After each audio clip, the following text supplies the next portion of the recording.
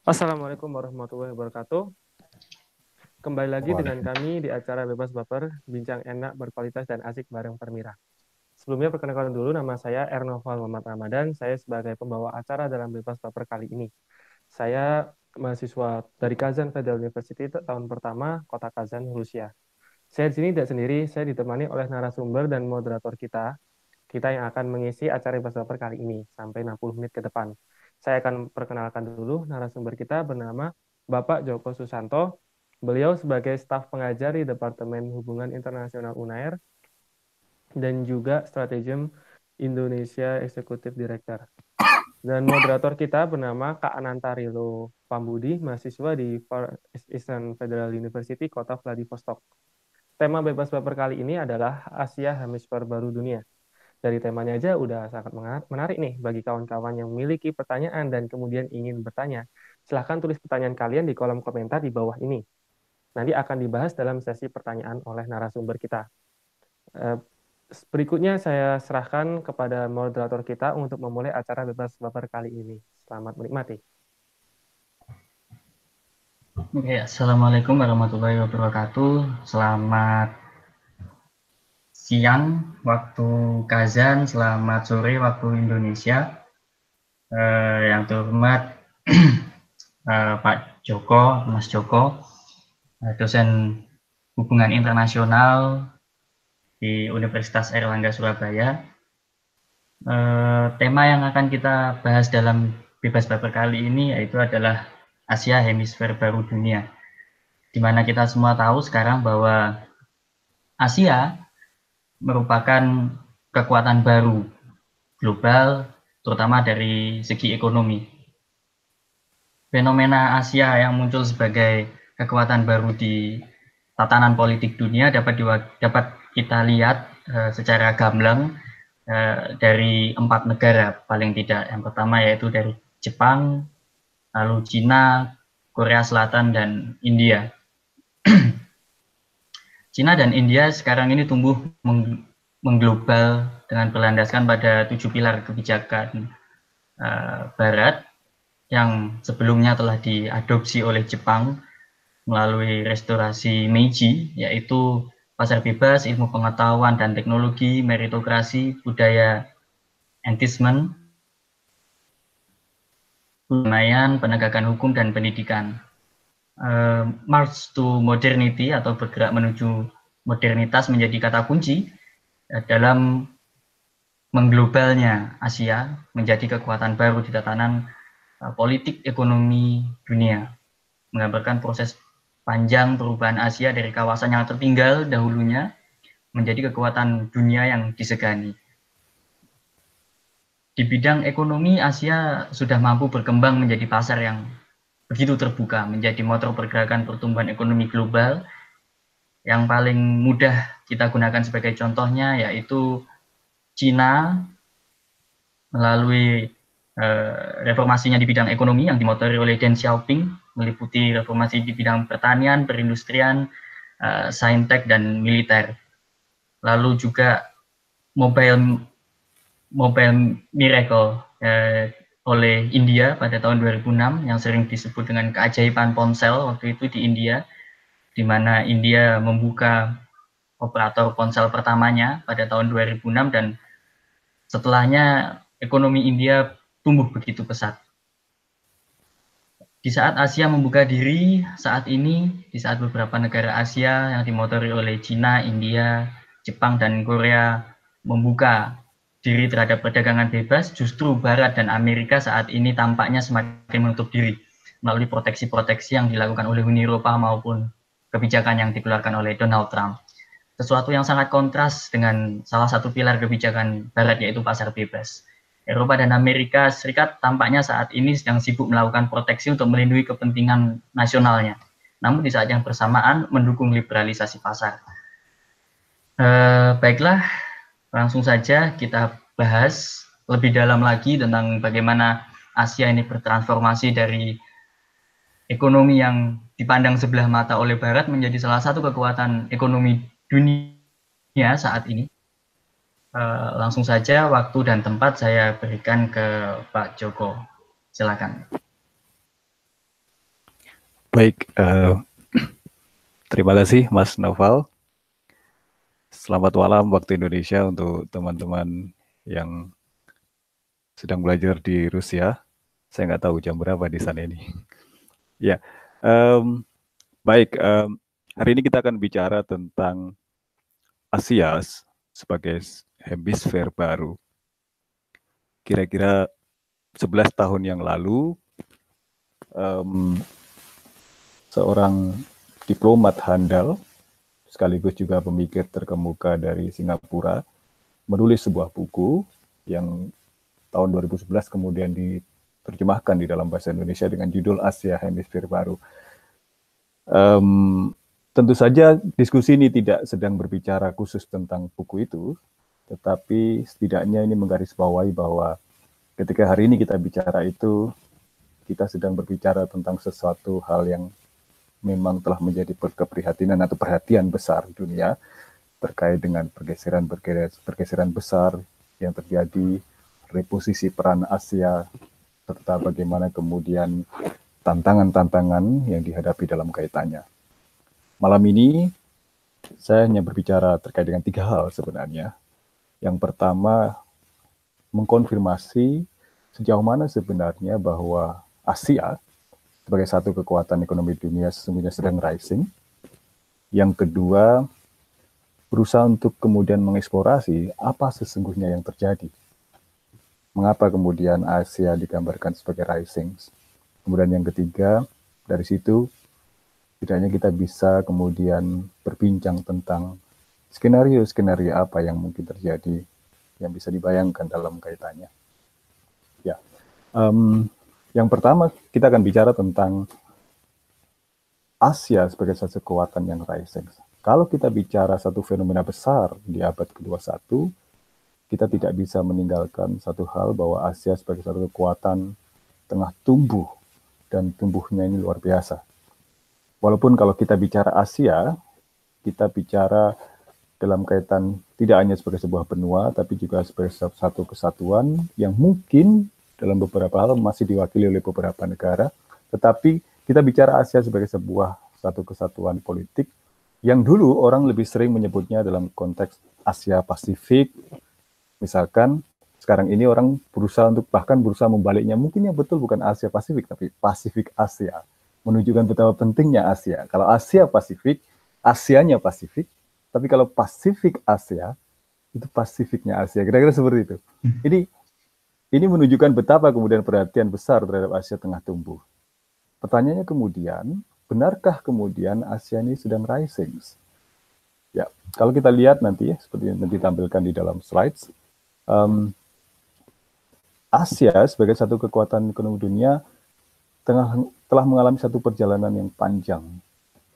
Di masa lalu, Asia adalah satu kekuatan besar yang yang kemudian sangat diperhitungkan satu sejarawan dunia Agnes Madison misalkan mencatat bahwa pada abad pertama Masehi misalkan Asia dulu berkontribusi terhadap perekonomian dunia sebanyak 76,3 persen.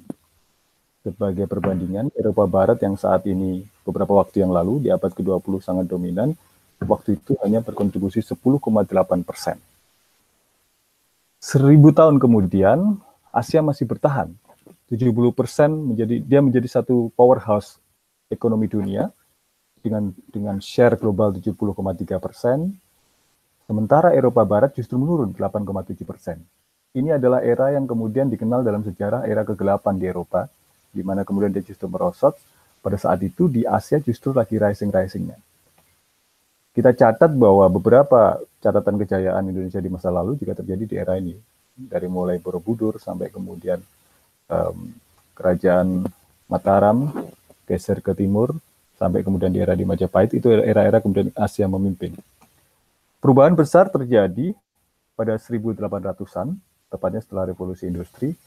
Tiba-tiba saja kemudian Eropa Barat tiba-tiba jadi naik, yang dari 8,7 persen, share-nya menjadi 23,6 persen. Ini uh, kenaikan yang yang cukup signifikan dikali lipat. Pada saat yang sama Asia merosot menjadi hanya 59,2 persen. Jauh ke depan lagi pada tahun 1998 sebelum krisis Asia, Eropa yang 23,6 persen merosot menjadi 20,6 persen, sementara Asia um, kontribusinya menjadi 37,2 persen. Ya, karena ada beberapa pemain seperti Amerika Serikat dan Indonesia tadi. Yang ingin kemudian kita ketahui adalah kalau kemudian Asia dikatakan rising, apakah ini sesungguhnya satu rising yang benar-benar baru atau sesungguhnya hanya sesuatu yang sebenarnya comeback dari yang yang sebelumnya? Kalau kita lihat catatan itu, Asia sepertinya pernah rising dan yang terjadi sekarang adalah semacam semacam comeback yang ke depan diperkirakan akan terus meningkat sehingga kemudian salah satu ahli geopolitik India, Parak Khanna, dia baru-baru ini tahun lalu kalau nggak dua tahun lalu menulis uh, mengeluarkan satu buku yang disebut The Future is ASEAN. Asia adalah nama lain dari masa depan dunia yang kita bicarakan lagi. Menurutnya, jika abad ke-19 bisa dikategorikan sebagai abadnya Eropa, abad ke-20 dikategorikan sebagai abadnya Amerika Serikat, maka abad ke-21 sesungguhnya adalah abad yang menjadi abadnya Asia. Pertanyaannya kemudian adalah, apa sesungguhnya yang terjadi? Apakah kemudian sesederhana itu? Dari sini saya ingin bicara beberapa beberapa uh, apa namanya catatan klasik atau upaya penjelasan klasik yang diberikan oleh berbagai ahli ketika berusaha menjelaskan apa yang sesungguhnya terjadi di Asia. Kita mulai dari yang paling awal, dari tokoh yang terkenal, Francis Fukuyama misalkan, dalam bukunya, yang dulu pernah terkenal dengan bukunya The End of History and the Last Man, misalkan, di sekitar tahun 90-an, dia tidak cukup percaya bahwa yang terjadi adalah Barat yang kemudian lagi decline, kan kemungkinannya kalau Asia naik, terjadi Asianya yang benar-benar naik, atau sesungguhnya Asia tidak benar-benar naik, tapi Baratnya yang lagi decline. Nah, dari situ kemudian si Fukuyama mengatakan bahwa yang terjadi adalah Barat ini sedang mencapai satu titik puncak atau apogee-nya. Jadi dia dia mencapai satu titik puncak yang tidak mungkin untuk kemudian naik lagi, sehingga kemudian yang terjadi adalah eh, gerak yang kemudian relatif kemudian menjadi turun, tapi tidak benar-benar turun menurut dia. Fukuyama masih yakin bahwa ke depan Barat ini masih akan mengontrol karena dia masih memegang uh, keunggulan keunggulan komparatif terhadap teknologi, ekonomi, militer dan yang lain sebagainya. Nah, agak berbeda dengan Francis Fukuyama. Ini juga buku klasik lain yang yang cukup terkenal Paul Kennedy misalkan, dia mengatakan bahwa yang terjadi justru sebaliknya. Asia terlihat naik karena memang Barat pada saat yang sama mengalami decline. Decline ini terjadi karena ibaratnya Barat ini sedang mengalami kelelahan. Ketika dia menguasai dunia, dia harus hadir di setiap sudut dunia. Bahkan ketika sudut itu tidak terlalu penting untuknya, dia harus memastikan ada di situ. Tapi itu semua membutuhkan energi, pengeluaran, dan dukungan ekonomi yang tidak sedikit dunia sudah mencatat bagaimana kemudian Uni Soviet ternyata ke kecapean juga dengan seperti itu dan itu juga yang terjadi di, di Barat. Ini menjelaskan kenapa untuk mensiasati supaya tidak merosot, misalkan Amerika Serikat e, mengurangi kehadirannya di tempat-tempat yang tidak yang dianggap tidak strategis untuknya. Amerika mundur dari Somalia, Amerika perlahan mundur dari Kabul, tapi pada saat yang sama Cina masuk ke Somalia, Cina masuk ke Kabul. Ini satu proses yang yang berbeda. Dengan kata lain bahwa Asia jadi naik karena pada saat yang sama Barat mengalami declining. Yang ketiga, penjelasan yang kemudian di, disampaikan oleh Samuel Huntington. Orang ini sangat terkenal karena dengan teorinya perbenturan peradaban, class of civilizations. Ketika dia kemudian mengatakan begini, ada hal yang menarik yang terjadi di, di Asia.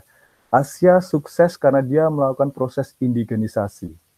Di situ dia berkatakan bahwa dalam beberapa hal ada pengalaman yang unik bahwa naiknya Asia ini berbeda dengan yang lain tidak semata-mata karena Asia melakukan satu westernisasi menjadi barat begitu saja.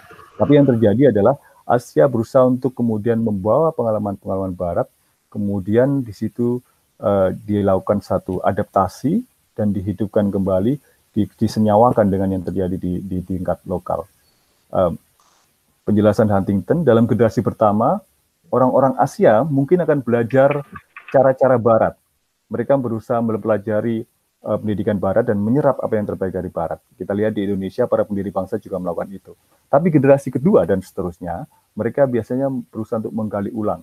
Yang terjadi bukannya westernisasi menurut si Samuel Huntington, tapi justru reislamisasi kalau itu di Timur Tengah, Hinduisasi yang terjadi di India, kemudian di Asianisasi yang terjadi di uh, di, di Asia Timur misalkan. Maka kemudian kita melihat di India ketika ekonomi naik justru partai fundamentalis Hindu BJP yang kemudian naik. Kemudian uh, kita lihat ada Jepang misalnya contoh unik ketika kemudian modernisasi dia juga kemudian justru dia uh, apa nilai-nilai tradisional juga mengalami semacam revitalisasi. Penjelasan keempat yang agak berbeda diberikan oleh ahli Asia yang juga sangat terkenal namanya Andre Gunder yang yang yang berbeda dengan yang yang lain-lain dia mengatakan bahwa sesungguhnya yang terjadi di Asia tidak sepenuhnya baru.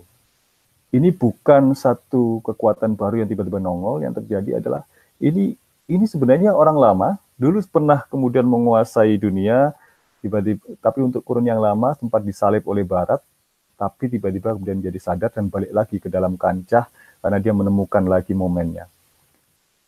Berbeda dengan penjelasan-penjelasan sebelumnya, si Frank dia mengatakan bahwa penjelasan terbaik bisa dicari di dalam faktor demografi yang menurut dia bahwa uh, dinamika demografi lah yang dan menjadi kunci kenapa, kenapa kemudian Asia naik.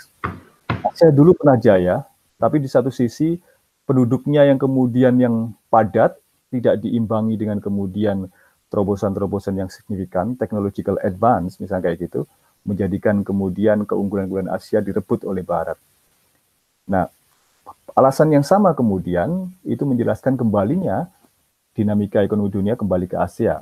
Menurut si Frank, pada saat Barat mengalami kemerosotan produktivitas, misalkan, Asia justru kemudian berusaha untuk memanfaatkan keunggulan demografinya yang muda, yang dinamis, dengan kemudian berusaha untuk mengubahnya menjadi satu kekuatan yang inovatif. Kalau kita lihat bagaimana India berusaha bermain dalam teknologi-teknologi inovatif berkaitan dengan IT, bagaimana Cina berusaha mengejar untuk menjadi inovator dunia dengan China 2025 sampai in China. Ini menjelaskan apa yang kemudian disampaikan oleh si Banks tadi. Nah, yang kelima saya kira yang kelima adalah penjelasan ASEAN Way yang ini dikemukakan oleh ahli ASEAN yang terkemuka yaitu Amitav Acharya yang dia menjelaskan bahwa um, dalam beberapa hal ya pengalaman Asia naik karena dia menempuh satu jalan yang relatif berbeda walaupun awalnya sama misalkan dengan membuka perdagangan dan jenisnya. Uh, perbedaannya yang secara nyata begini. Eropa naik dengan liberalisme yang sifatnya murni peran negara sangat minimal. Yang di situ adalah peran kapital sangat dominan. Asia naik justru dengan peran negara yang cukup kuat.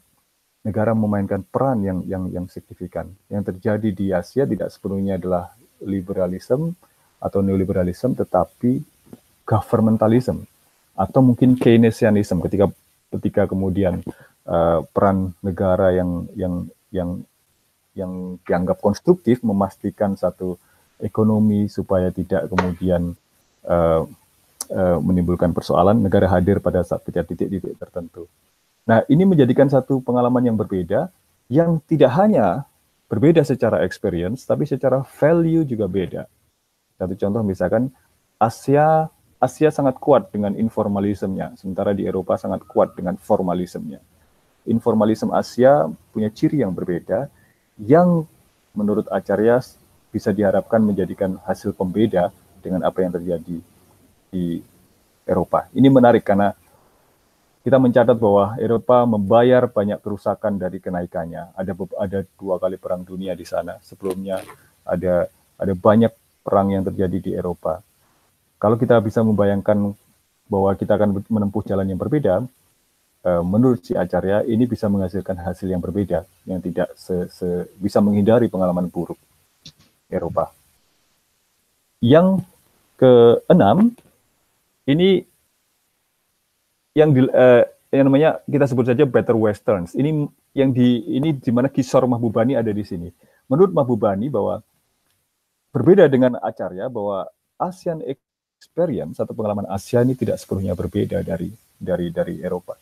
Yang terjadi adalah bahwa justru Asia mengambil intisari atau saripati pengalaman terbaik dari Eropa, kemudian dia berusaha untuk memperbaikinya. Sehingga kemudian, oke, okay, di sini kita sebut better western. Jadi pada saat yang sama, Barat yang justru kemudian punya kekayaan itu, kekayaan nilai itu sama sekarang sedang dalam tahap yang meragukannya. Kalau kita lihat misalkan contoh liberalisme itu adalah satu nilai yang sejak lama dianut Barat, tapi justru sekarang diragukan di mana-mana. Diragukan di Eropa, diragukan di bahkan di Selandia Baru, yang misalkan sikap yang terbuka, liberal terhadap imigran misalkan mulai dipertanyakan tidak hanya kemudian di Eropa tapi juga di di Amerika Serikat sendiri. Di bawah Trump, nilai-nilai yang sesungguhnya jadi nilai klasik barat sekarang sedang dipertanyakan. Pada saat yang sama, Asia justru dalam ketertarikan yang sebaliknya. Sikap moderat mulai sekarang ditunjukkan oleh bahkan di Arab Saudi. Terus kemudian dorongan-dorongan bagi demokratisasi yang sama bahkan telah terjadi di Arab Springs.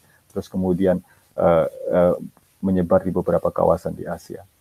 Secara umum kemudian Kisor Mabubani mengatakan bahwa ada tujuh pilar yang sesungguhnya menjadi inti dari dari kemajuan kemajuan Asia dan beberapa hal itu diambil dari Barat. Contohnya misalkan free market economy. Tentu saja free market di Asia dilakukan secara bertahap. Kemudian science and technology. Asia adalah tempat di mana orang sangat gandrung pada saintek. Kalau kita lihat sekolah-sekolah teknik di dunia di situ penuh dengan orang India dan orang Cina. Kemudian meritokrasi. Ini unik unik terhadap Asia, tetapi sesungguhnya melengkapi apa yang tidak dilakukan oleh Barat. Barat bekerja dalam kerangka election murni, sementara Asia berusaha melengkapinya itu dengan cara election, dengan cara selection, yang di situ kemudian berusaha memperbaiki sistem meritokrasi. Tentu saja ada problem tentang demokrasi dan sejenisnya, tapi nanti itu akan dibicarakan lebih lanjut. Kemudian pragmatisme. Asia sangat pragmatik yang dalam banyak hal menjadikannya sangat luas secara secara kebutuhan-kebutuhan praktis. Contoh yang paling khas adalah ketika Deng mengatakan bahwa saya nggak peduli kucingnya warnanya hitam atau warnanya putih, yang penting bisa nangkap tikus. Nggak peduli mau kapitalisme atau mau sosialisme, yang penting bisa menghadirkan kesejahteraan. Cina satu contoh. Kemudian culture of peace. Asia punya kultur perdamaian yang jauh lebih panjang daripada kemudian Eropa yang berdarah-darah dengan perang dunianya yang bawa korban. Kemudian penegakan hukum, walaupun ini penegakan hukum dilakukan dengan cara yang berbeda, tapi penegakan hukum di di Asia menurut si di Kisar Mahbubani telah dalam satu tahap yang yang lebih prospektif daripada di Barat. Kemudian education, tidak ada kawasan yang sangat gila terhadap pendidikan, mengirim ribuan dan bahkan mungkin lebih banyak lagi puluhan bahkan ratusan ribu, mungkin jutaan dari siswa-siswanya. Jutaan, jutaan ke, ke, ke luar negeri itu adalah kawasan Asia. Cina terutama kemudian juga India. Tidak ada sekolah-sekolah terbaik di dunia yang tidak kita jumpai ada orang Cina dan orang India. Dan tidak hanya berhenti di kedua negara itu, Indonesia pun juga ikut-ikutan mengirim mahasiswanya ke luar negeri. itu itu satu contoh. Ya, terus, nah kemudian yang terakhir tadi ada tujuh yang disebut sebagai ASEAN Renaissance. ASEAN Renaissance ini satu gagasan yang dikemukakan oleh Amartya Sen dalam satu kuliahnya yang sangat terkenal di Carnegie. Dia mengatakan begini, um, dia tidak setuju membuat perbedaan apakah ini jalan ini berbeda dengan Barat atau ini murni Asia dan seterusnya. Yang dia katakan bahwa yang terjadi sesungguhnya satu proses yang overlapping. Lebih menarik untuk kemudian berbicara dalam titik temu itu tadi. Jadi tidak ada gunanya mengatakan bahwa Asia naik karena eksepsionalismenya, tetapi yang penting justru naik Asia akan naik lebih baik karena apabila apabila dia berlangsung dalam kerangka renaissance. Jadi tidak hanya kemudian menarik yang terbaik dari Barat, tapi juga menggali apa yang dimiliki Asia di masa lampau yang sesungguhnya sebenarnya pernah menjadi inspirasi dari Barat. Contoh tentang toleransi. Asia punya sejarah yang sangat panjang tentang toleransi. Raja Akbar, bahkan kemudian sejak zaman India kuno, di Persia, Islam punya tradisi toleransi yang luar biasa. Indonesia punya tradisi yang dalam beberapa menjadi sumber inspirasi bagi pemikir-pemikir pencerahan. Nah, keberanian para pemimpin Asia untuk mendorong kemudian kita kembali menggali yang terbaik dari Asia, sama seperti kemudian Eropa menggali yang terbaik dari tradisi Yunani dan Romawi, itu akan menjadi kunci bagi kemajuan Asia. Dari sini kemudian kita akan lihat beberapa prospek. Lantas bagaimana ke depan prospeknya? Ada tiga hal yang kira-kira harus dicatat bahwa Asia walaupun punya beberapa modalitas, ada ada yang kemudian bisa menjadi satu problem. Satu, bahwa uh, yang kalau kita menyebut Asia ini masih punya problem distribution. Seringkali Asia yang kita sebut ini ya Cina, India, kemudian lebih banyak di Asia Timur, dan lebih banyak lagi Asia yang lain ini tidak sebenarnya tidak termasuk di dalam satu gelombang besar yang sering kita bicarakan ini dalam beberapa hal pertumbuhan di Asia masih kemudian terlalu kemudian bergantung pada satu kelompok-kelompok tertentu. Disparitasnya sangat besar, tidak hanya di Asia, bahkan di Cina sendiri, antara kawasan timur dan baratnya itu juga sangat disparitasnya sangat besar. Asia dalam beberapa hal adalah seperti yang terlihat di India.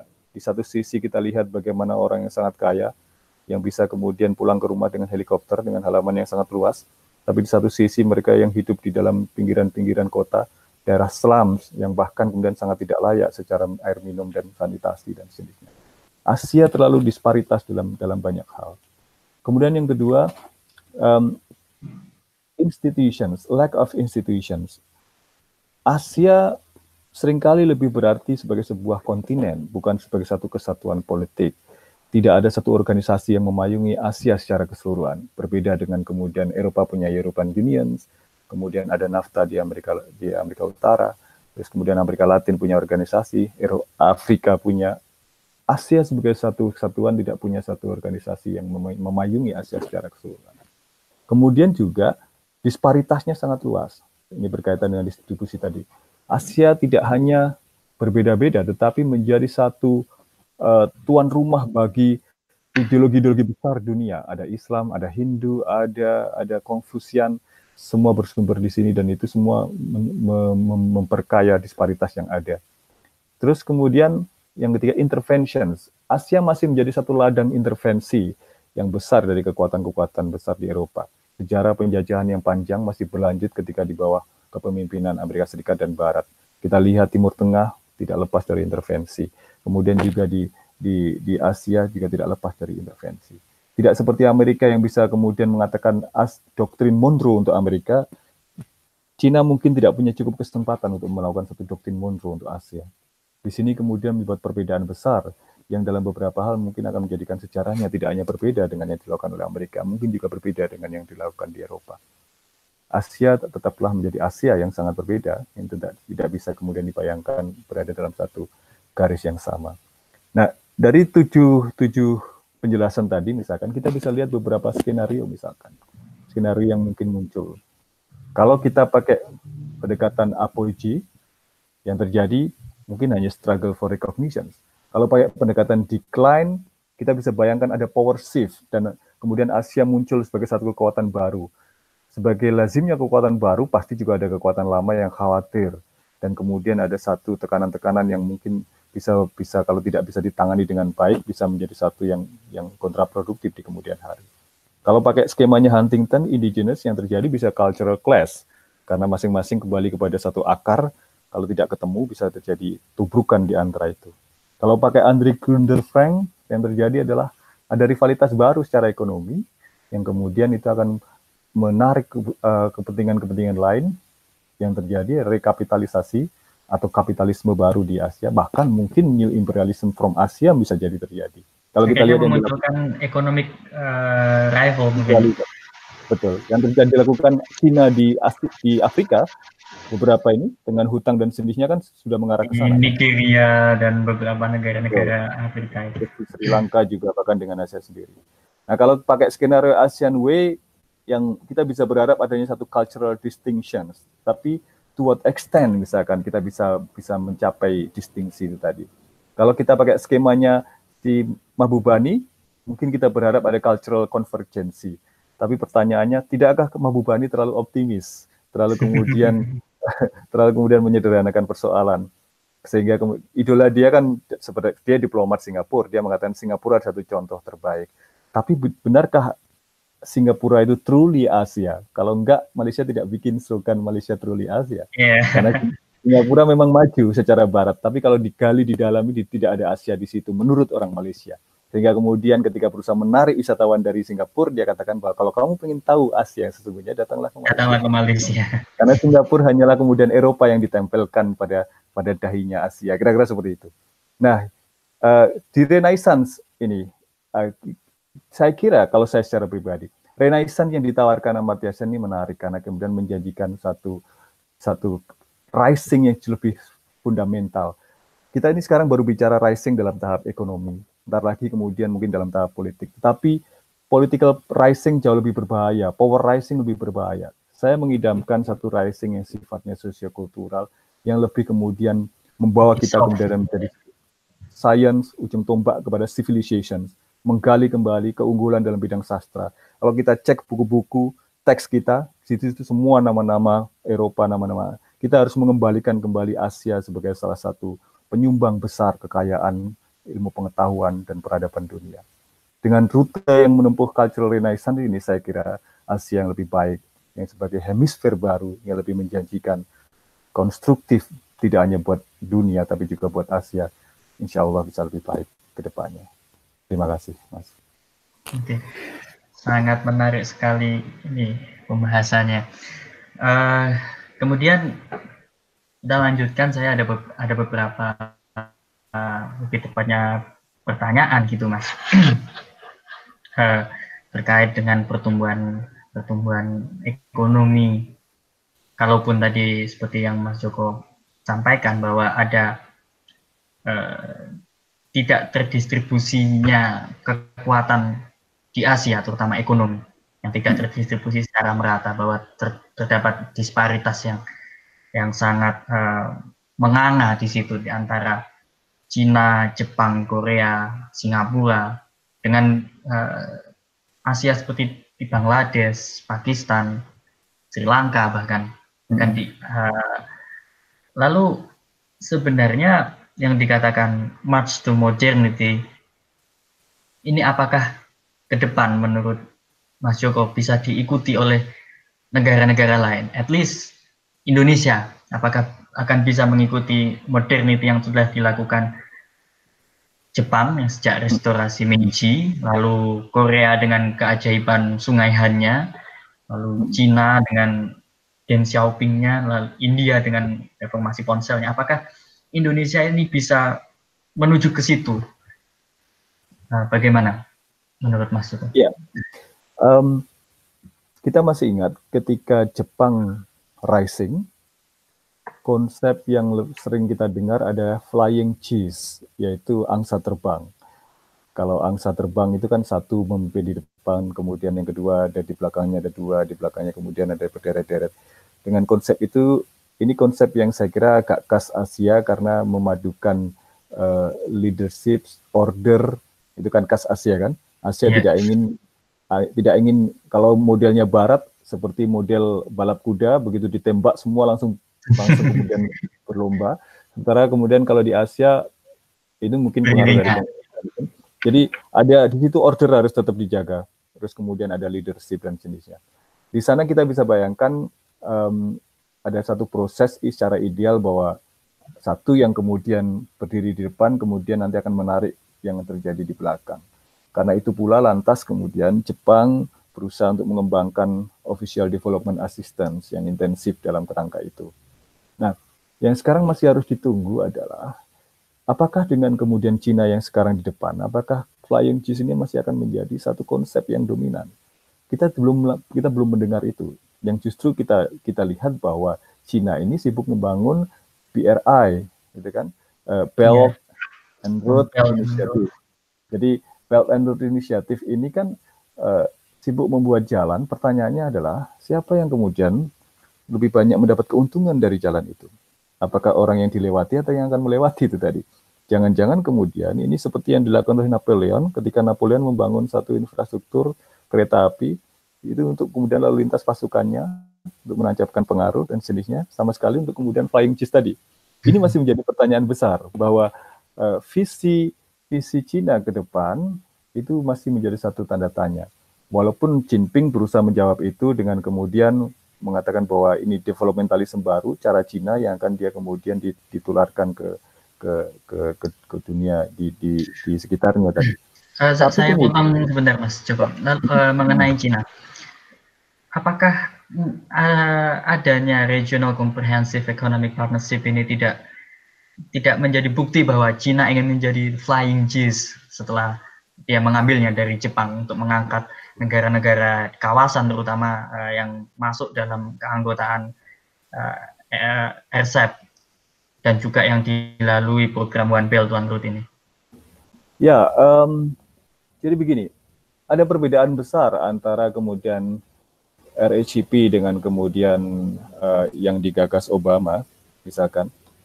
Um, jadi begini, liberalismenya negara Barat itu selama ini fokus kepada institutionalism, yang di situ membangun sebuah sistem yang walaupun kemudian pada intinya nanti juga mereka akan bermain di dalam bangun sistem, tapi tapi ada satu orientasi untuk mengedepankan apa yang disebut sebagai sebagai rezim. Tapi kemudian Cina, Cina ini lebih kuat dalam kerangka leadershipnya. Dia membangun kerangka-kerangka itu, tetapi yang penting bahwa boleh eh, kalian ini, tetapi sentrumnya tetap pada Cina. Makanya dia bikin Shanghai itu tadi dan seterusnya. Jadi karena bagaimanapun konsepsi psikologis Cina, Cina itu kan dari Cina Cungkuo yang kita jadikan Tiongkok ini kan negara kingdom apa middle kingdom negara tengah dia harus selalu menjadi pusat. Nah ini akan menjadi satu satu dalam beberapa hal bisa kemudian bisa dimaknakan berbeda karena eh, negara-negara lain tentu masih tidak bisa lepas dari dari apa namanya kecemasan dan kemudian uh, masih khawatir dengan apa maksud Cina yang sebenarnya kalau dengan seperti itu. Apakah Cina akan hadir sebagai big brother atau hadir sebagai big imperial? Entah itu melalui RACP atau dengan yang lain itu masih tetap jadi pertanyaan sampai sekarang. Karena kita lihat bahwa selain trustnya yang rendah, gestur yang diberikan Cina itu juga belum cukup kuat untuk disebut sebagai sebuah uh, kepemimpinan yang sifatnya sistemik. Kepemimpinan dia lebih ke personal kayaknya, ya, bukan ke satu kepemimpinan yang yang yang sistemik begitu. Lalu kembali ke pertanyaan saya yang tadi, apakah Indonesia ini bisa mengikuti langkah-langkah yang telah dilakukan oleh negara-negara Asia Asia Timur gitu dan termasuk uh, di dalamnya negara Asia Timur itu juga ada Singapura yang menjadi ya menjadi titik baru kekuatan ekonomi di Asia di regional. Apakah Indonesia bisa mengikuti untuk menjadi the next power of Asia? Ya, kalau kita lihat uh, beberapa catatan, beberapa kesaksian diberikan lembaga-lembaga pemerintah internasional yang cukup bonafit menunjukkan bahwa Indonesia masuk di dalam gerbong yang berikutnya. Jadi setelah kemudian negara-negara BRICS, semua semua catatan memasukkan Indonesia di dalam di dalam gerbong tadi. Tapi kemudiannya adalah pertanyaannya adalah uh, kalaupun kita kemudian dimasukkan dalam kelompok orang kaya baru tadi, pertanyaannya adalah akan menjadi orang kaya baru yang seperti apa nanti kita? itu itu pertanyaan besar. Jadi apakah kita akan menjadi orang kaya baru yang kemudian kehilangan jati diri atau menemukan jati diri baru yang lebih lebih kuat atau justru nanti di situ kita akan menjadi orang yang hanya terumbang ambing di antara di antara dinamika kawasan yang ada di situ. Itu masih menjadi satu persoalan besar. Nah, satu contoh sederhana misalnya begini. Untuk waktu yang lama, Indonesia ini kan selalu mendefinisikan diri sebagai pemimpin negara dunia ketiga, kemudian negara berkembang, non-blok, yang dalam beberapa hal dia mengambil posisi yang nggak berhadapan dengan existing power yang kemudian biasanya ada di ada di kelompok elit dulu di G7, G8 yang kemudian berkumpul seolah menjadi pemilik ekonomi dunia. Tetapi kemudian dengan Indonesia tiba-tiba masuk dalam G20, posisinya jadi berantakan semua. Tiba-tiba kemudian kita satu satu satu apa meja makan dengan mereka, terus kemudian dalam beberapa hal kita juga menjadi bagian yang sering didemo oleh mereka, gitu kan? Ini ini satu satu perubahan yang besar yang sampai sekarang belum mendapatkan redefinisi yang cukup signifikan di Indonesia. Kita ini belum belum bisa belum menemukan satu rumusan baru. Kita ini menjadi kekuatan seperti apa? Misalkan kalau satu saat kemudian Cina dan Amerika terjadi clash, kita dalam posisi apa? Apakah kemudian kita akan menjadi pelanduk di tengah-tengah yang kemudian akan disodok kiri kanan yang hancur, atau kita kemudian bisa membangun satu kekuatan yang cukup solid di situ? sebenarnya ya, kalau ASEAN bisa menjadi modalitas yang bagus selama ini. Tetapi kalau kita lihat, ASEAN ini kan dengan naiknya Cina kan mengalami satu kemunduran relatif. Belum lagi Cina itu ketika berhubungan dengan ASEAN, dia enggan untuk berhubungan secara kolektif. selalu kemudian berhubungan secara individual. Iya. Dia dia dia bikin kesepakatan dengan Singapura, bikin kesepakatan dengan Laos, kemudian dia berdiskusi dengan Vietnam. Dia enggan sekali kemudian berbicara dengan ASEAN secara kolektif. Yang terakhir ya bicara code of conduct disepakati. Setelah itu kemudian dia bicara sendiri-sendiri. Itu yang kemudian sangat memecah belah ASEAN. Kalau misalnya terjadi konflik itu itu kemudian ada satu disparitas yang besar. Tidak tidak bisa dibayangkan bahwa ASEAN masih akan satu kata terkait dengan Cina. Sekarang aja sudah mulai berbeda-beda tadi kan. Nah, itu menjadi satu pertanyaan besar. Apakah kita nanti saya saya yakin bahwa satu saat kita akan menjadi satu kekuatan kekuatan yang diperhitungkan yang menyusul BRICS itu tadi. Pertanyaannya adalah kita akan menjadi kekuatan yang seperti apa? Dengan dengan posisi dan peran yang seperti apa yang menurut sampai sekarang masih masih harus kemudian didefinisikan ulang saya kira. Oke. Okay. Uh, ya. Jadi nampaknya Indonesia ini memang beberapa lembaga pemeringkat maupun lembaga yang mengkaji terkait uh, politik ekonomi memang Indonesia akan menjadi istilahnya orang kaya baru di tataran pergaulan dunia. Tapi apakah uh, akan menjadi orang kaya baru yang seperti apa? Apakah akan menjadi orang kaya baru seperti Jepang di era uh, kekais di era restorasi Meiji yang mengatakan bahwa Jepang akan mengikuti Barat dalam segi dalam cara bekerja, namun dalam hatinya dia masih akan menjadi Jepang ataukah menjadi tipe-tipe uh, lain gitu. Hmm, hmm. Tapi menurut Mas Joko, dari ada beberapa contoh seperti Cina, India, Korea, ataupun Singapura yang mereka melakukan transformasi dari negara yang berkembang atau dari negara yang terbelakang menjadi yang sekarang negara maju yang kekuatannya diperhitungkan dunia seperti Cina yang melakukan uh, reformasi besar-besaran di bidang pertanian, industri, saintek, dan militer ataupun juga India yang meskipun kita bisa lihat bahwa India sendiri tidak secara merata gitu terkait pembangunan ekonominya ataupun seperti Korea yang melalui pembangunan besar-besaran, pembangunan skala masif industri yang berorientasi ekspor untuk menjadi orang kaya baru di pergaulan uh, dunia internasional ini. Menurut Mas Joko, melalui tahapan seperti apa yang paling pas untuk Indonesia?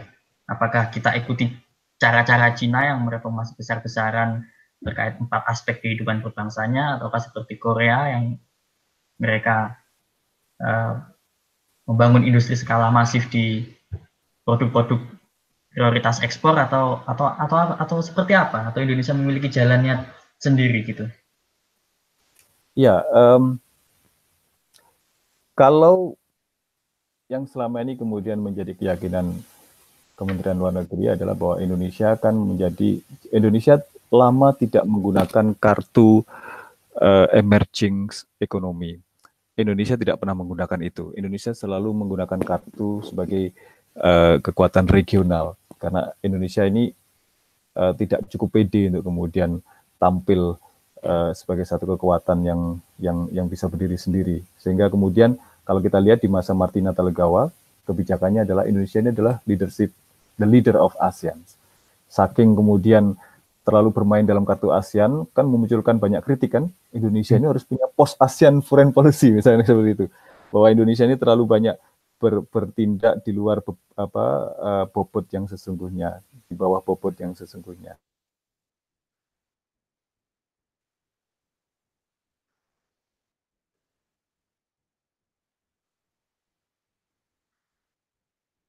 India Pakistan punya. Argentina dia dia di di kawasan juga bermasalah. Argentina dengan Brasil dan seterusnya.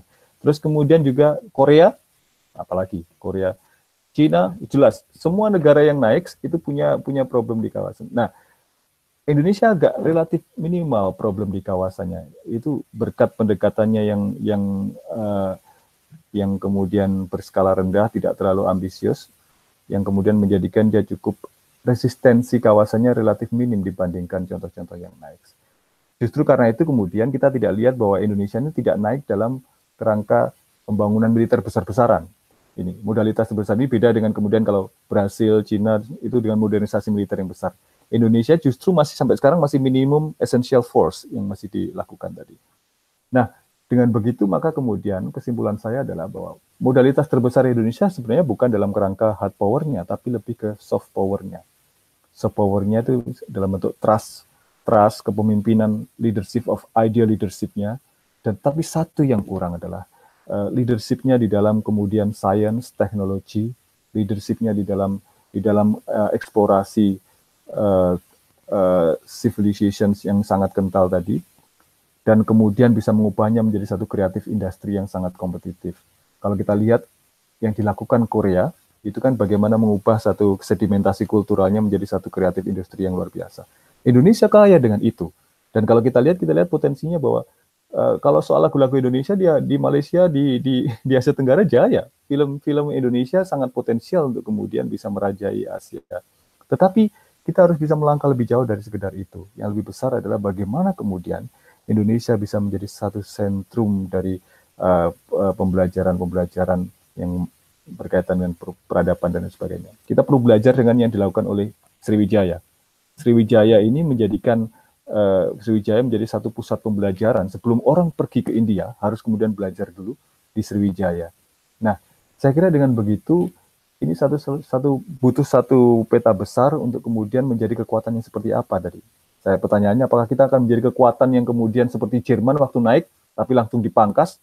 Apakah kemudian kita akan pengen menjadi USSR yang sangat high profile, tapi tiba-tiba kemudian kehabisan energi? Apakah kita akan menjadi Amerika Serikat? Ataukah kita akan menjadi satu kekuatan-kekuatan yang sifatnya lebih uh, kekuat? Apakah kita mau menempuh jalan Sparta atau jalan Yunani, misalnya kayak gitu kan? Kalau Sparta ini kan dengan hard power, atau kita dengan cara soft power. Kalau saya pribadi, keunggulan terbesar di Indonesia adalah kemampuannya untuk memadukan saripati terbaik dari yang ada. Satu contoh, India punya kekurangan, punya kelebihan. Cina punya kekurangan, punya kelebihan. Kalau mau cari titik temunya yang baik ada di Indonesia, misalnya kayak gitu. Indonesia telah menjadi menjadi apa namanya peramu yang terbaik dari India dan Cina misalkan. Dan tidak hanya itu kita bisa menjadi satu peramu nilai-nilai yang ada di lalu lintas di dunia tadi.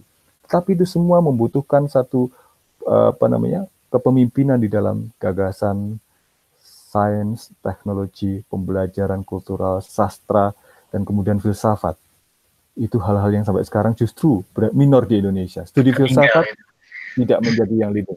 Studi sastra tidak juga. Ilmu pengetahuan sosial justru dipandang sebelah mata dibandingkan ilmu pengetahuan.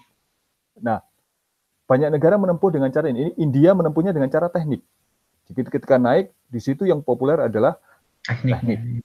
Ya, kemudian uh, hal yang sama dilakukan oleh Denmark, hal yang sama dilakukan oleh oleh Jepang. Nah, kalau kita melakukan sekarang Vietnam sedang mengejar itu. Kalau kita lihat Indonesia, oke okay, bagus Indonesia jika lakukan itu, tetapi tidak hanya berhenti pada itu. Karena salah satu kekayaan penting Indonesia adalah kekayaan-kekayaan yang sifatnya itu tadi cultural, cultural. Sifat, sosial dan sejenisnya, modalitas-modalitas besar. Saya bayangkan mudah-mudahan misalkan uh, dari Indonesia ini keluar satu nama-nama besar yang akan menjadi rujukan besar di dalam perbincangan terkait dengan falsafah, terkait dengan nilai-nilai dan sejenisnya. Indonesia punya keunggulan di situ. Oke, kalau ini, satu contoh tawaran, ya. Iya. Tapi itu hanya dilakukan dengan renaissance, ya. Hmm. ya. Oke, kalau menurut Mas Coba tadi kan Indonesia ini sebenarnya sangat unggul di, di culture-nya untuk menjadi eh, salah satu jalan kita men, untuk Indonesia ini menjadi salah satu kekuatan ekonomi atau kekuatan politik uh, tidak tidak dunia lah di regional gitu di Asia. Hmm. Lalu apakah ini uh, berarti juga kita bisa menempuh cara yang dilakukan Korea. Karena kalau kalau kalau uh, sepengetahuan saya ini ini agak mirip-mirip sebenarnya budaya budaya yang ada di Indonesia dan di Korea ya. Yang di Korea di mana budaya culture-nya itu dieksploitasi melalui film dan pemusikannya untuk menjadi salah satu yang uh, cukup berpengaruh dalam segi culture di tataran Asia atau juga bahkan dunia. Uh, di sisi lain Indonesia ini juga hmm, sebentar lagi gitu kalau bisa kita katakan sekitar tahun 2025 ke atas akan mengalami bonus demografi. Tapi yang menjadi masalah adalah uh, data BPS terakhir 2018 menyatakan bahwa dari angka angkatan kerja Indonesia itu masih 60% lulusan SMP ke bawah. Jadi kalau hmm. kita menggunakan cara-cara pendekatan teknik seperti yang dilakukan oleh Cina, Jepang ataupun India, tampaknya kita masih ada lag di situ, masih ada hmm. keterbelakangan di situ.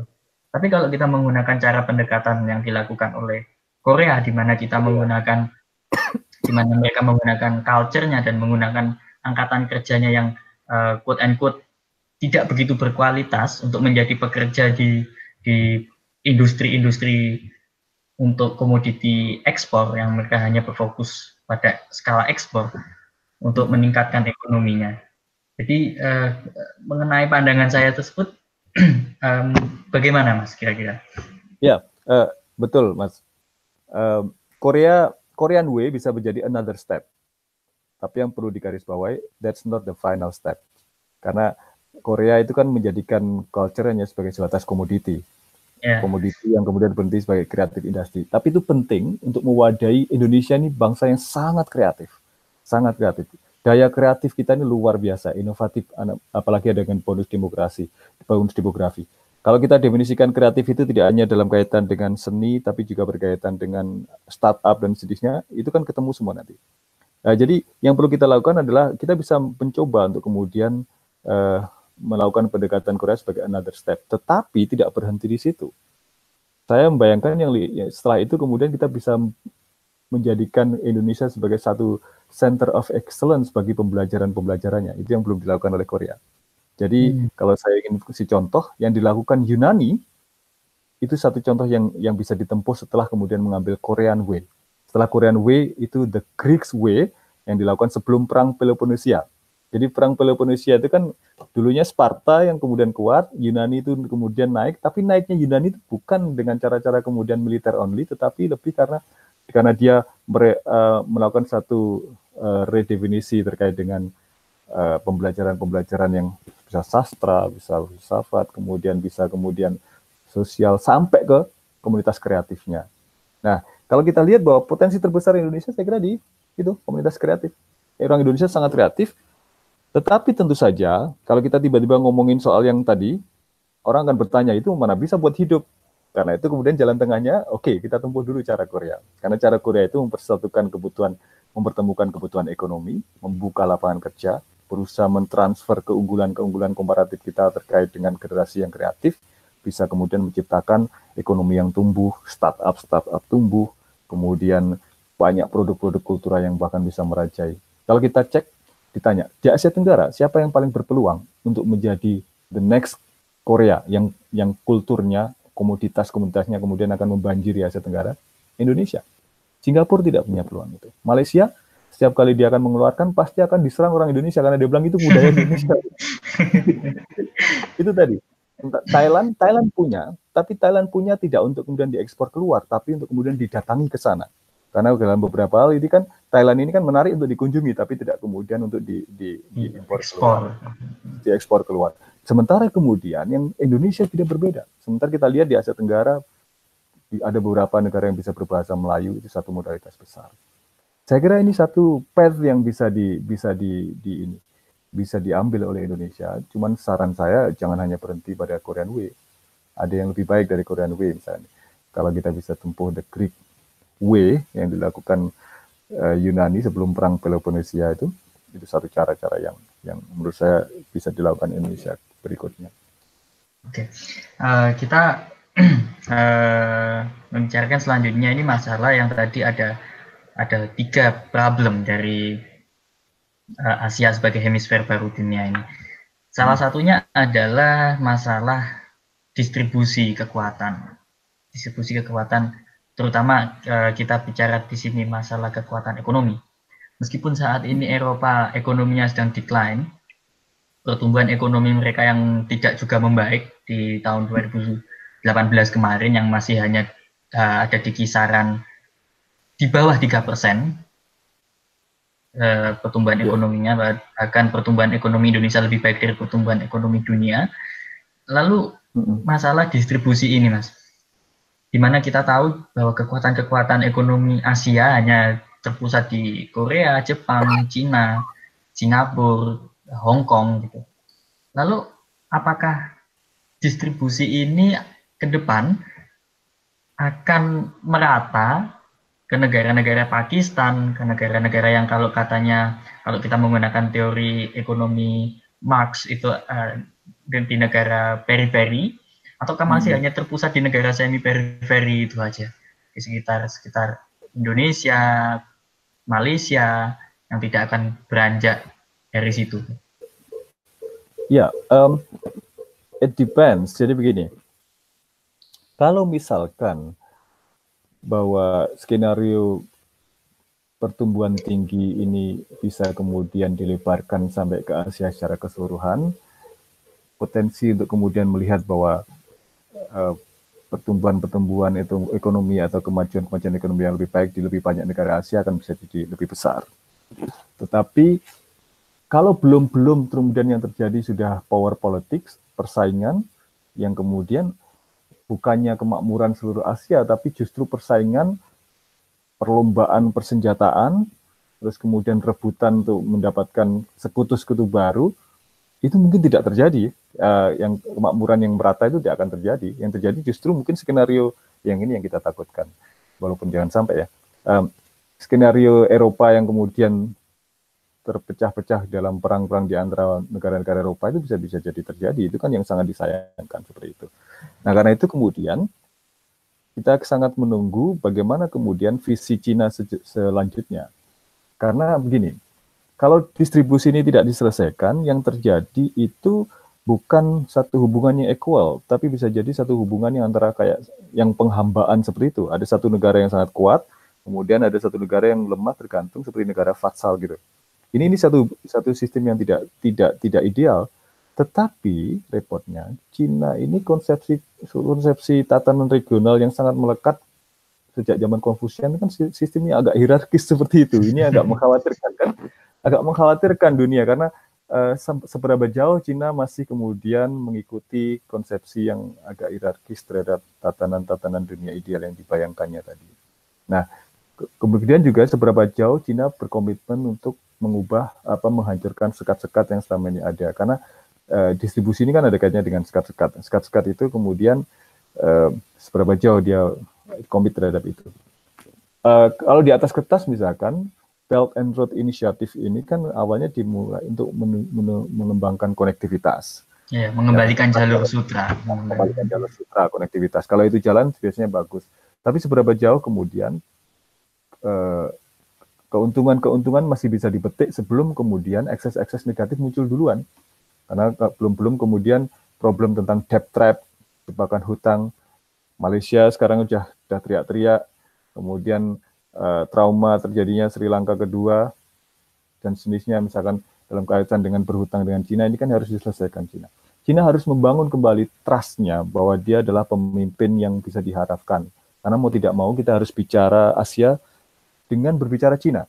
Karena Cina tidak akan bisa ditinggalkan dalam konteks Asia karena Cina ini tidak bisa dipungkiri gitu, tidak bisa dinegasikan dari perkembangan Asia. Tidak akan bisa dinegasikan. Karena itu kemudian mau tidak mau setiap negara harus belajar tentang itu. Problem misalkan menjadi misalkan terjadi di Indonesia karena di Indonesia ini masih ada satu satu dinamika yang sangat kalau kita bicara Cina itu bicaranya itu masih Cina sebatas etnik belum Cina sebagai satu kekuatan geopolitik apalagi sebagai satu realitas kawasan yang tidak bisa di, di, dipungkiri lagi. Tapi Cina punya modal misalkan. Satu saat ketika terjadi krisis di Asia tahun 98, Cina tidak melakukan devaluasi terhadap mata uang regional. Ini kan menjadi satu hal yang sangat positif yang sehingga kemudian sangat disyukuri oleh negara-negara di kawasan yang menunjukkan bahwa oh Cina bisa diharap menjadi sebuah leader. Karena menjadi sebuah leader dia harus mau menanggung itu tadi uh, menyediakan satu public good. Public good itu lebih dalam satu kerangka yang sifatnya untuk kepentingan kolektif bukan untuk kepentingan-kepentingan yang untuk kepentingan imperialnya. Uh, Belt and Road Initiative punya potensi ke sana asalkan Cina bisa memanage dan menghindari ekses-ekses kemungkinannya memunculkan Cina yang imperial. Yang dilakukan Cina ketika dia memberi tenggat kepada atau atau bersikap lunak terhadap keinginan keinginan Malaysia untuk kemudian meninjau ulang itu satu contoh yang positif saya kira. Tapi lebih banyak pesan harus disampaikan ke seluruh dunia dan lebih banyak klarifikasi eh, kejelasan harus disampaikan ke apa sesungguhnya visi Cina terhadap Asia. Kita belum dengar visi Cina terhadap Asia. Selain bahwa Cina itu bermimpi menyamai Amerika, Sebenarnya apa sih mimpi Cina terhadap Asia? Ini yang belum kita tahu. Yang mimpi yang lebih kolektif yang melibatkan negara-negara di kawasan gitu. Betul, betul. Ini yang kita tunggu dari Cina. Oke, ini pembahasan terakhir sebelum nanti kita ada tanya jawab dengan audiens, dengan pemirsa di YouTube terkait eh, perkembangan Asia ini. Bahwa beberapa negara Asia tidak bisa dinegasikan gitu dari percaturan politik ekonomi dunia perkembangan uh, terutama perkembangan Cina dan India yang ini juga saya quote and quote bisa menjadi mimpi buruk juga untuk Eropa. Lalu menurut Mas Joko nih ke depan posisi apa yang akan diambil Eropa untuk menanggapi perkembangan Asia, terutama India dan Cina ini? Apakah mereka akan welcome menerima karena secara tidak langsung kedua negara ini dan kemungkinan besar negara-negara Asia telah mengejawantahkan filosofi-filosofi barat, pasar bebas, meritokrasi, demokrasi, atau justru ini sebagai threat untuk Eropa? Iya, untuk beberapa saat Eropa akan berada dalam situasi kecanggungan yang untuk berlangsung dalam waktu yang lama. Jadi canggungnya ini karena satu, Eropa menyadari betul bahwa Asia menjadi terutama juga Cina menjadi satu kekuatan yang yang tidak lagi bisa di dihilangkan atau tidak diperhitungkan. Mau tidak mau kalau dia berbicara tentang dunia dia harus berbicara tentang Asia terutama dengan Cina. Problemnya ketika bicara tentang Asia, di situ ada Cina. Ketika dia terlalu berdekat-dekat dengan Cina, menunjukkan satu interest terhadap Cina, Amerika Serikat akan teriak. Dan itu jadi problem yang selama ini kemudian membuat Eropa tidak pernah lepas. Untuk waktu yang lama Eropa akan canggung dan tidak akan bisa ber, berhubungan dengan terutama Cina cara agak lepas. Dan saya kira itu menjadi peluang buat kawasan lain yang untuk kemudian bisa ber, ber, berrelasi dengan lebih erat. Harapan saya sesungguhnya adalah ini, um, Asia dengan kemudian Afrika yang dulu punya punya jembatan yang bagus melalui melalui sumbangsi Indonesia dan mungkin juga dengan Amerika Latin bisa mengambil peran ini. Jadi di tengah kecanggungan Eropa dan kemudian uh, kegalauan Amerika Serikat terhadap posisi barunya itu, apakah nanti dia akan masih ada ini saya kira ini menjadi peluang untuk kemudian Afrika, Asia, dan kemudian Amerika Latin bisa kemudian bekerja sama lebih dekat. Justru dalam konteks itu, saya melihat peran Indonesia ke depan bisa menjadi penting. Karena Indonesia adalah negara yang bisa menjadi jembatan bagi diterima semua pihak gitu. Diterima semua pihak. Kita punya sejarah besar Bandung Conference itu satu satu terobosan besar yang masih sampai sekarang masih terus diingat. Dan kita juga bagaimanapun kita adalah satu kekuatan besar di di belahan bumi selatan kita pernah punya angkatan laut terkuat di belahan bumi selatan dan kita bisa menjadi satu leadership yang yang sampai sekarang mungkin masih bisa bisa kita olah kembali asalkan kita bisa menemukan satu kebijakan baru yang lebih jelas terkait dengan pemimpinan selatan tadi. Ini ini saya kira akan menjadi satu peluang karena bagaimanapun kalau kita lihat Eropa, Eropa dalam situasi yang serba kompleks. Belum lagi kalau ke depan Eropa ini lebih disibukkan oleh urusan-urusan domestiknya. Kalau kita lihat ini kerusuhan-kerusuhan yang hanya muncul di negara dunia ketiga sekarang ada di Eropa. Terus beberapa konflik-konflik dan Kosovo, beberapa waktu segala macam gitu. Untuk beberapa waktu, waktu kemudian kita lihat bagaimana kemudian di Inggris sibuk dengan Brexit, kemudian di, di Eropa daratan juga. Nah, ini ini akan menjadi satu problem yang secara sederhana digambarkan begini. Untuk beberapa saat Eropa akan terkena penyakit tua. Penyakit tua ini kan bisa berpengaruh ke dalam kesehatannya dalam jangka panjang kan. Walaupun dia sekarang masih mengontrol uh, menjadi salah satu sumber penting di dalam teknologi dan jenisnya. Uh, kalau ke depan dia harus kemudian memikirkan ulang bagaimana mempertahankan leadershipnya dalam kaitan itu. Kalau Asia bisa mencuri start dengan kemudian menjadi satu satu pemimpin baru dalam kaitan dengan sains dan teknologi, ini akan menjadi menambah satu kesulitan baru buat Eropa ke depan. Kalau harapan saya ke depan justru bagaimana membangun satu hubungan yang bagus dengan Afrika, Amerika Latin, dan Asia ini menjadi satu kekuatan besar yang lebih fresh dan muda. Kira-kira seperti okay. Terima kasih Mas Joko untuk paparannya. Dan lebih uh, ngobrol satu jam ini terkait kemungkinan Asia secara kolektif bisa memimpin uh, peradaban dunia ke depan.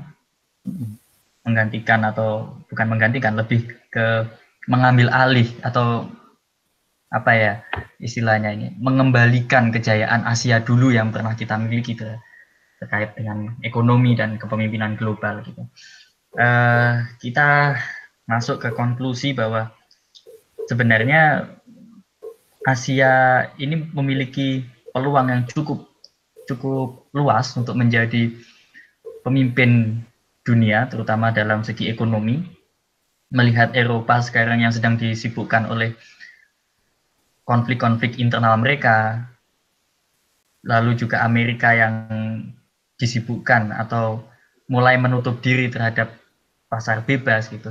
Asia menjadi salah satu kekuatan baru dunia. Namun juga perlu kita catat bahwa Asia juga memiliki masalah, sedikitnya tiga masalah domestik yang sampai sekarang belum terselesaikan, yaitu masalah distribusi perkembangan uh, di negara-negara Asia sendiri, terutama ada disparitas yang cukup menganga terkait perkembangan di ASEAN, Asia Timur dan Asia Asia Selatan. Lalu ditambah lagi juga adanya lack of institution bahwa tidak ada satu institusi tunggal yang menyatukan kekuatan-kekuatan uh, negara-negara Asia, sangat beda dengan Eropa yang yang punya Uni Eropa punya mata uang tunggal, tapi uh, sampai saat ini Asia masih belum memiliki institusi itu. Uh, so far saya menilai hanya ASEAN, hanya institusi ASEAN yang dapat menyatukan negara-negara uh, ekonomi besar di Asia. Bahkan menurut catatan saya juga ada hanya di ASEAN, uh, Cina, Korea dan Jepang bisa duduk bersama dan menyusun kerangka kerjasama gitu. Lalu yang terakhir yaitu ada intervensi kekuatan Eropa dan Amerika di Asia yang sampai saat ini uh, tidak bisa kita negasikan. Gitu. Ada proksi-proksi yang memang sampai saat ini masih cukup uh, memberikan dampak yang besar terhadap perkembangan Asia. Lalu mengenai pe kondisi Indonesia, Indonesia sebenarnya sangat bisa untuk menjadi the next leader of Asia gitu atau kalau kita tidak bisa menyebutnya leader tapi kita juga uh, kita bisa menyebutnya sebagai the next power of Asia. Tapi Indonesia sendiri masih belum memiliki identitas yang jelas, masih mau dibawa ke mana sebenarnya ya Indonesia ini di kancah perekonomian atau di kancah kekuatan global. Apakah kita lebih lebih cenderung menjadi the next Korea atau the next India gitu itu itu masih masih Indonesia masih belum jelas ke arah mana. Uh, tapi untuk kemungkinan Indonesia menjadi salah satu kekuatan ekonomi dunia itu kemungkinan itu sangat ada dan tergambar jelas oleh data-data yang disampaikan salah, salah satunya oleh uh, eh, PwC, oleh uh, Goldman Sachs gitu. Ya, itu terkait eh, tentang Indonesia. Lalu selanjutnya saya kembalikan ke Noval sebagai pembawa acara kita. Silakan eh, Mas Noval.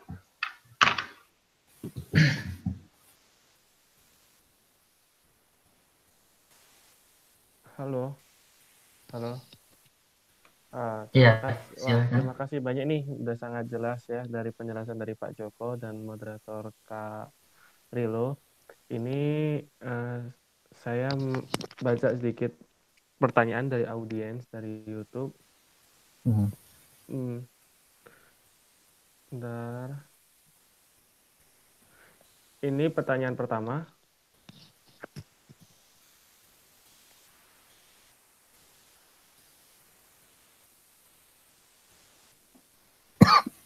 Halo, ini, ya. ini ada pertanyaan pertama dari Kak Dika. Nah, Kak Dika Ayu, hmm, negara mana negara apa saja di sih di Asia yang menjadi tiga besar dalam pemimpin di Asia itu? Silakan Pak Joko untuk menjawab pertanyaan pertama. Ya. kalau kita lihat di slide yang ketiga ya, ya keempat ya ketiga tadi. Ya.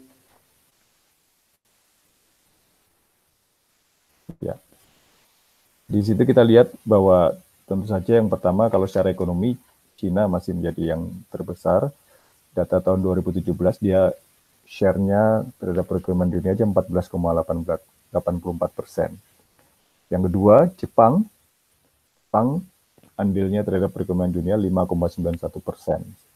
Kemudian India 2,83 persen. Lantas menyusul South Korea, Korea Selatan 1,86 persen, baru kemudian Rusia. Ini menjadi satu eh, apa namanya yang duduk di baris depan ya, Cina, Jepang, India, Korea Selatan dan Rusia. Baru di baris di belakangnya situ ada Indonesia, ada Turki. Ini tentu saja sebelum sempat kudeta kemarin. Kemudian ada Saudi Arabia, terus ini ada di deretan berikutnya Thailand dan kemudian juga negara-negara. Jadi eh, gambaran kita jadi tiga besarnya tentu saja Cina, Jepang, dan India sampai sekarang. Itu secara ekonomi. Tapi kalau kita bicara tentang eh, kekuatan secara budaya maupun secara peradaban, itu itu bisa lain lagi. Cina masih tetap menjadi satu kekuatan penting, India juga, terus kemudian juga kita negara-negara Arab juga satu kekuatan penting, Iran.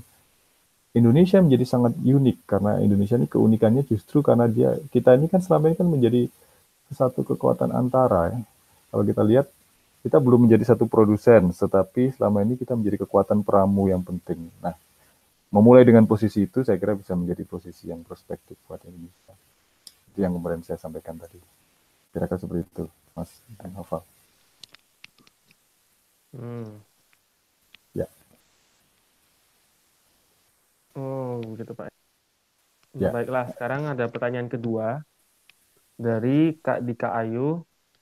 Apakah Indonesia menjadi salah satu negara yang dipertimbangkan dan faktor apa saja itu Pak untuk Indonesia mampu menjadi salah satu negara yang dipertimbangkan? Dipertimbangkan dalam kaitan Mungkin dalam per- eh, dipertimbangkan sebagai pemimpin Asia tadi itu Pak. Ya, em, saya kira realistik untuk berpikir bahwa Indonesia ini akan menjadi satu kekuatan tengah yang penting di Asia. Eh, daripada kemudian membayangkan bahwa kita nanti akan menjadi satu pemimpin Asia seperti halnya kemudian Cina membayangkan seperti itu. Tetapi kalaupun kita ingin ingin membayangkan hal yang lebih dari itu, bayangan saya adalah dalam kerangka yang sifatnya soft power, kita bisa saja menjadi satu pemimpin di bagian itu. Seperti kemudian kita lihat cara yang dilakukan oleh Korea, walaupun secara hard power dia kurang, tapi kalau dalam budaya pop dia menjadi pemimpin kawasan gitu, yang sekarang mengalahkan Jepang dan bahkan belum bisa disaingi oleh Cina. Ini ini cara lain untuk kemudian bisa mendapatkan posisi. Dan saya kira eh, itu yang bisa dilakukan Indonesia dengan menjadikan dirinya sebagai satu pusat misalkan kajian-kajian di mana orang Asia kalau mau belajar intisari dunia misalnya dia harus pergi ke Indonesia menyediakan Indonesia sebagai tempat pembelajaran terbaik di dunia. Macam Inggrisnya Uni Eropa misalnya gitu ya. Eropa itu di Inggris itu dagangannya kan dia menyediakan tempat-tempat belajar yang baik. Nah saya kira Indonesia perlu berpikirkan apakah kita akan pergi ke sana. Tentu saja butuh satu upaya yang sangat besar dengan dengan kemudian menjadikan diri sebagai pusat-pusat center of excellence tadi. Jadi kan ada beberapa pilihan ya, menjadi great superpower atau bisa menjadi center of excellence. Yang saya bisa bayangkan bahwa Indonesia bisa jadi center of excellence, walaupun belum bisa menjadi great power itu kan satu cara yang menarik kepemimpinan secara kultural.